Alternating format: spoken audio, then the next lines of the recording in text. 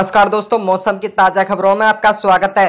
दोस्तों, अभी अभी बड़ी खबर लेकर के आ रही है भारतीय मौसम के अनुसार कि इन राज्यों में भारी बारिश के आसार मिले हैं। और वही बात करें दोस्तों, हिमाचल प्रदेश और जम्मू कश्मीर में बादल फटने के आसार मिले हैं और भारी तबाही मची हुई है। दोस्तों, बादल फटने की वजह से बाढ़ जैसे हालात और कई जगहों पर घरों को नुकसान पहुँचा है और कहीं पर हाईवे ठप हो चुके हैं, भारी बारिश की वजह से जलमग्न हो चुके हैं दोस्तों। जम्मू कश्मीर, गंदावल इलाके और पड़ोसी हिमाचल प्रदेश के प्रतिष्ठित धर्मशाला में बादल फटने का आसार मिले वहाँ जलमग्न हो चुके हैं। काफ़ी पर्यटकों की गाड़ी बह चुकी है और काफ़ी नुकसान देखने को मिला है। भारतीय मौसम विभाग ने उत्तर भारत के कई राज्यों को रेड अलर्ट पर जारी कर दिया गया महाराष्ट्र में रेड अलर्ट जारी कर दिया गया मौसम विभाग के अनुसार।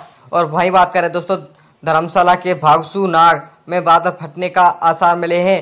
गर्मी से राहत मिलने के पर्यटकों धर्मशाला में भागसू नाग का रुख देखने को मिला। देर रात तक भारी बारिश के अचानक बाढ़ आ गई और गाड़ियाँ बह चुकी हैं दोस्तों।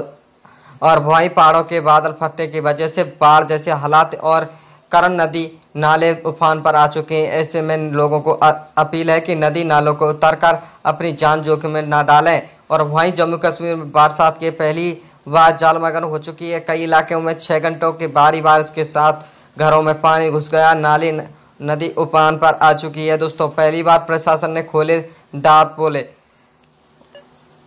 शिमला में भारी बारिश की संभावना बताई जा रही है। शिमला में रामपुर, भौरनी, माला झेकड़ी में भारी बारिश के एन एच पाँच को बंद कर दिया गया। सड़कों पर मलबे और ढेर सारे लगे हैं। शिमला में भारी बारिश के बाद मौसम है जो ऑरेंज अलर्ट पर जारी कर दी गया है। साथ ही साथ बता देते हैं कि राजस्थान यूपी, मध्य प्रदेश, बिहार आदि ज़िले। दोस्तों, आदि राज्य, इनमें भी अलर्ट जारी कर दिया गया कि भारी बारिश की संभावना बनी हुई है। वहीं बात करें दोस्तों, हरियाणा, दिल्ली, इनमें आज मानसून है जो दस्तक दे सकता है। दोस्तों, देर रात तक भारी बारिश के आसार देखने को मिलेंगे। वहीं बात करें गुजरात और गोवा